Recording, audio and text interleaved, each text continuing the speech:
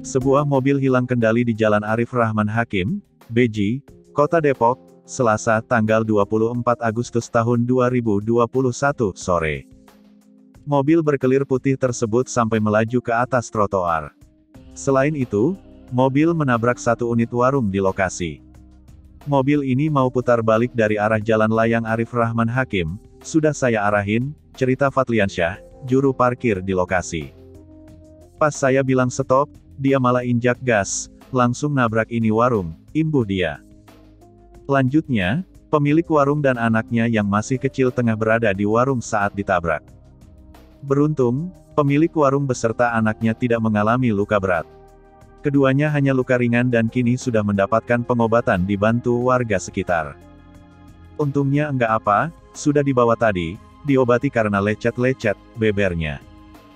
Kecelakaan ini juga menyebabkan sejumlah orang terluka akibat terkena pecahan kaca.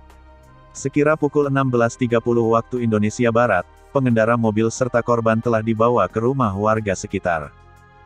Tujuannya untuk menyelesaikan persoalan ini secara kekeluargaan. Sudah dibawa tadi ke rumah warga, mau tanggung jawab kok pengendaranya, kata Fatliansyah.